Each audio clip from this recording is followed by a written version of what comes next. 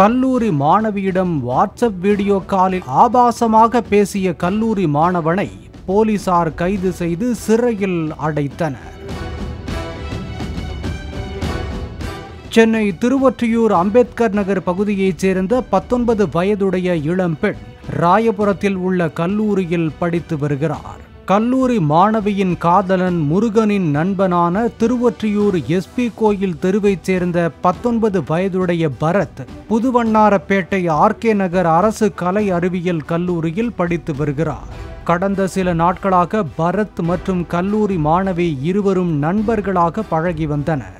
WhatsApp மூலமாகவே குறுஞ்செய்தி மற்றும் வீடியோ கால் மூலம் பேசி வந்துள்ளனர்.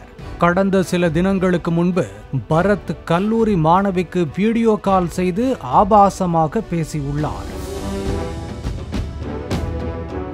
இதனால் கல்லூரி மாணவி தனது காதலன் முருகனிடம் நண்பரின் அத்துமீறல் குறித்து கூறியுள்ளார்.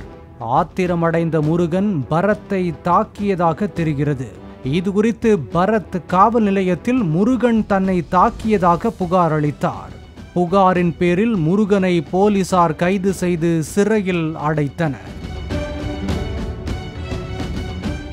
இதையடுத்து கல்லூரி மாணவி வாட்ஸ்அப் வீடியோ காலில் ஆபாசமாக பேசியதாகவும் பரத் மீது காவல் நிலையத்தில் புகார் அளித்தார்.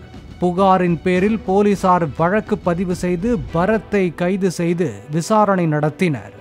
பரத்தின் செல்போனை ஆய்வு செய்தபோது பல பெண்கள் அரை நிர்வாணமாக இருக்கும் வீடியோக்கள் இருந்தன.